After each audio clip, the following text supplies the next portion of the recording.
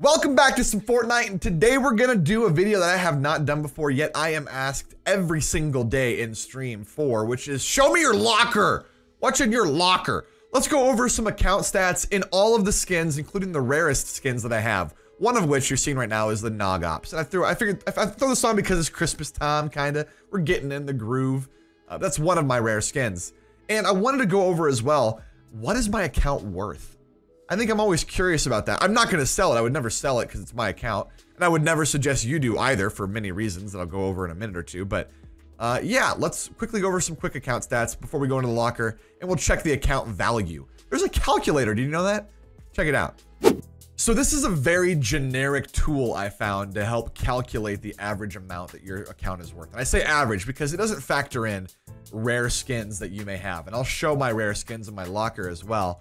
But I was curious. I, I, I 100% do not condone doing this. Do not buy or sell an account for a couple reasons. One, against terms of service of Fortnite, very easy to get banned for it. Tfue got banned for it a while back. Two, it's easy to get scammed while doing it. Super easy. And three, uh, it's just, it doesn't make a big difference which skins you have. Use skins that you like. If you weren't playing around the time that ones came out, it's okay, whatever. Just wait until new ones come out that you like. It's, it's, I have Renegade Raider. I never use her, ever. Because everybody that sees me BMs me and like focuses me super hard. It bugs me, so I don't use her, even though I have her. It's pretty rare. Uh, edition. All right, so this is just, let's go through this really quick. I have the Founders Edition. I have, I think, like 1,600 V-Bucks on my account right now. Number of uncommon skins. I had to factor this out before I made this video because I didn't want to make you guys wait for, I, well, I counted pretty much. I have 22 green skins. Uh, my account level is 95 at the moment. I wish it was overall account level, but I think it's just talking about regular season because the next one's Battle Pass tier. It's level 100 as well. And that number of rare skins, I have 36 rare skins. Number of epic skins, this is purple. I have 91 purple skins. That's nuts. Number of legendaries, I have 49. And can the name be changed? I'm not sure why that matters, but yes, it can be calculate the account level. I did everything here? I did. Calculate the account level. Thousand fifty-five dollars. Bare minimum. It's like estimated account value. This doesn't factor in some other stuff though, like I had mentioned, rare skins and the amount of wins that it has. So bare minimum, just off of the account level alone, the V-Bucks, the number of skins, whatever, it's worth over a thousand freaking dollars. Which granted is much less than I've spent on overall skins for the account. So I've lost money on that deal. All right, so bare minimum, the account is worth $1,055 apparently, but that doesn't factor in the rare skins. As I mentioned, Nog Ops is one, but also a lot of other things like overall career. The accounts with more wins are worth more. But my account is ranked pretty highly right now. If I check it on Fortnite Tracker, which is a website that helps track overall wins, I am top 200 in the world for overall wins with 2,338 wins. And I am top 700 in the world for eliminations. I have 34,285 limbs. So that helps value my account a bit more as well. Also that my overall account level is 523. I've been playing since seasons weren't a thing technically. Well, I guess it was considered season one, but nobody called it season one. It wasn't called season one, but it was season one. that makes sense. That's when I got a lot of my rare skins or what are considered rare skins now before many people played. So I have a lot of wins on my account and my account level is very high, which raises the value even further. Now, if we go into the locker here, you can see a lot of my uncommon skins. Many of these are pretty average, nothing crazy about them. Rare ones might be considered uh, the Sergeant Green Clover. Not really rare, but it's a little old. Uh, going up further, though, you're going to see ones like the Nog Ops. This is from Christmas of last year. It's almost a year old now. It's a bit more rare. Not many people have it. It's considered much more uh, exclusive, we'll say. Continuing up, uh, the second most rare skin probably in the list comes out. Well, the number one most rare I have is the Renegade Raider, as I mentioned. I, I, I have this one. I don't use it very often, though, because I just get focused too much, but I do have it. Blue Knight is actually kind of rare. It's getting to that point, um, but I still wouldn't call it crazy. So we have Renegade and Nog Ops so far. Going up the list further, most of these are relatively average, nothing crazy with them. Um, this is one blue team leader. A lot of people don't have, which is weird because it's a PlayStation skin, uh, but it was free PlayStation skin that many people should have, and they never got it on PC. So The blue team leader is actually kind of uh, exclusive as well. A little weird that most people don't have that one. Continue up the list, you see a lot of my uh, blues into my purples here. We have a ton of epics, as you saw on the list. 91 epic skins. That's freaking nuts. I cannot believe I had so many. Uh, nothing I see yet. The Ghoul Trooper does not, I'm sorry, Skull Trooper does not count as rare anymore in my mind, so I'm not going to call that one. Unless you have the purple, which I don't. I never liked the Skull Trooper, so I never bought it. I bought it this time around, but I still don't use it much. Uh, Rust Lord is kind of old, but not very rare. Let's see. Gingerbread. Oh, man. The Merry Marauder. This is a pretty exclusive one, too. Another Christmas skin from last year. People like the Christmas skins a lot. They're considered really, really rare for some reason. I, a lot of people did play back then, but apparently most of those people don't play much now. And then you have the Ginger Gunner as well. So I have both of those. I do not have the antler, the girl with the antlers, and I do not have, uh, what other one? I, didn't have that, and I didn't have what I mentioned here, the, the purple ghoul, Skull Trooper. I didn't buy those. I didn't buy Ghoul Trooper either, actually. I have the Ginger Gunner, which a lot of people like a lot. So I have the one that people care about, it seems. Uh, going up the list here. Nothing too nuts. I have the second free PlayStation skin called the Blue Striker. Pretty cool skin. I like it. The Frozone skin. Going off of season one of the epic skins, I have season two and beyond. So Black Knight and on, you'll see those. Red Knight also not considered too rare. Rose team leader is the blue team leader's half sister. Not sure why people like her a lot, but not as rare. She's more common. Most people I think have John Wick. Going up the list though. Where is the thing I'm looking for? I'm not sure. Power Chord is not rare. I, they brought her back out. All right. I never thought she was rare anyway. so if you like Power Chord, that's cool, but I'm not calling her rare on the list. I'm sorry. It's just not going to happen. Ah, here we go. Crack Shot, which is the weirdest Christmas skin. It's superbly ugly in gameplay. It's cool, but it's unbelievably bad to play with because your head is so large. Everybody shoots you in the face. It's annoying. Uh, and then the last one I'd say is probably the Black Knight here. The Season 2 last Battle Pass reward is probably the last rare skin I have.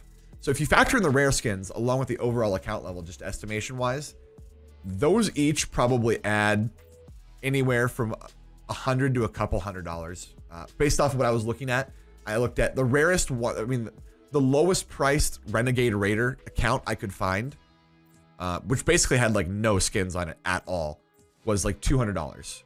So you're paying like 150 just for Renegade alone. And that's that's pretty much what it was. So most of these skins that are that old are ranging from the 100 to $200 price range. That doesn't also factor in though pickaxes and back blings. So going through the back blings much quicker. Uh, most of those didn't come with backblings back then because, well, there weren't any. If you didn't play the back then, backblings didn't come out until like season three or four, if I recall. So most of the backblings are very common. They're not crazy rare. So going through these, they've, they've brought some out that match some of the cool ones, but most of these aren't worth much at all. The Red Knight Shield uh, kind of is because they made the Red Knight and the Black Knight Shield backblings once they released the whole backbling update. They were just part of the skin though, for the most part. So backblings aren't that rare, but the pickaxes are. So people used to love the Scythe. Although the Scythe was re-released, uh, it's very common now. It was extremely popular and extremely rare. Also, by far, one of the most annoying. You have someone doing this next to you the whole time. You're like, yeah, I'm going to jump off of a bridge. That's annoying. Uh, but the rarest pickaxe I probably have goes to the Christmas skins, and that is the Candy Cane. So, or maybe the ACDC. This is like from season two as well, I believe. But nobody uses this because it's really annoying. so the pickaxe is one of the most rare that I have. Also one of the coolest because it's a, it's one of the first, I think, the first reactive pickaxe, and they call them reactive now. But basically, the lights light up as you get more eliminations. So your pickaxe can have three lights on it that light up. It's just it's just a cool thing.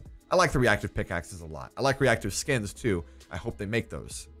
Well, yeah, they have a couple now, but I mean, more so than what they currently are. They should take it to the next level. After that, we have our gliders.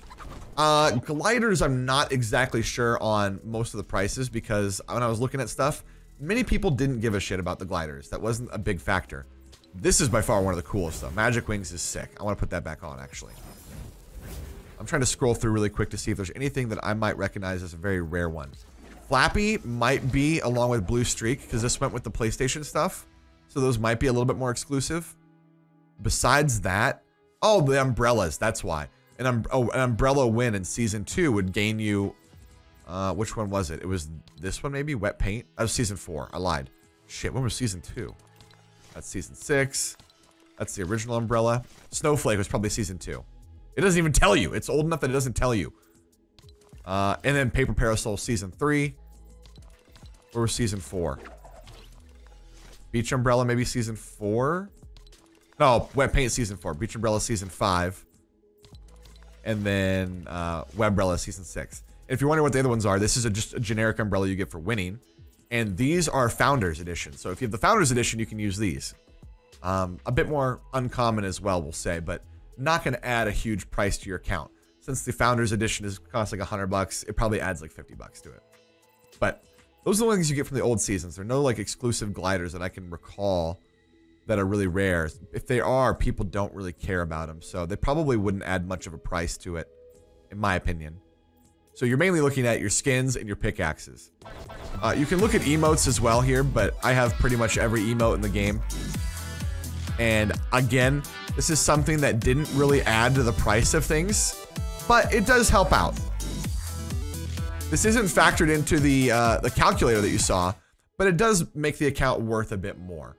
So if you add in the rare skins, the rare pickaxe that I have, along with the fact that I have the found, or well, the I'm not sure. I'm not going to count these because I don't know these for sure. Along with, let's say the emotes, right? The account was roughly valued around somewhere like $3,500, $4,000, which is actually not much more than I paid for all the skins that I've played with on this account. I think total money I've spent, which is a little ridiculous to some people, is around three grand in the last year. You have to understand that this is my job. Everything that I buy gaming wise is a tax deductible for me and a tax write off and it also helps me make videos. Some people like, well, how does it make you help you make videos? Well, me and Wildcat do a lot of funny things. If you guys might recall or remember, we did, uh, where's like the shark skin? Like we would sit in Luke Lake, Loot Lake with our shark, our chomp seniors on and attack people out of the water when they get near us. That was freaking hilarious and fun. You couldn't do that really if you didn't have the skin. So certain skins help you make videos especially. So yeah, I mean, it's, it's a, it's an investment for me. It's something that I like to buy, but it also is a worthwhile business investment in my circumstance. So if you'd like to check out your account value, you can do that on your own time. I'm sorry, I'm not going to link the tool in my video because frankly, I just don't want to encourage in any way account selling or buying. I mentioned before, but I'm gonna mention it again. Do not do that. It is against terms of service. You can get banned for it. Tfue got banned for it again. I mean, even big dudes like him uh, get hit for it.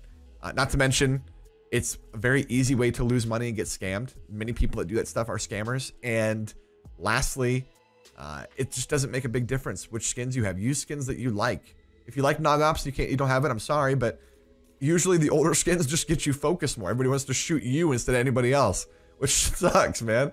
You don't want to get shot. Usually the low key skin that I use, the, the, the, the skin I like a lot that's undercover, is my uh, where is it? The Twitch Prime skin. Is it purple? This one. I love this skin. This is my undercover skin. I love this skin. So, thank you guys for watching. I hope you enjoyed a locker video. I might use this on my Twitch channel so I don't have to ever talk about my locker again. And uh, if you want to check out your account value, go do it on your own time. Thank you for watching again. Bye-bye.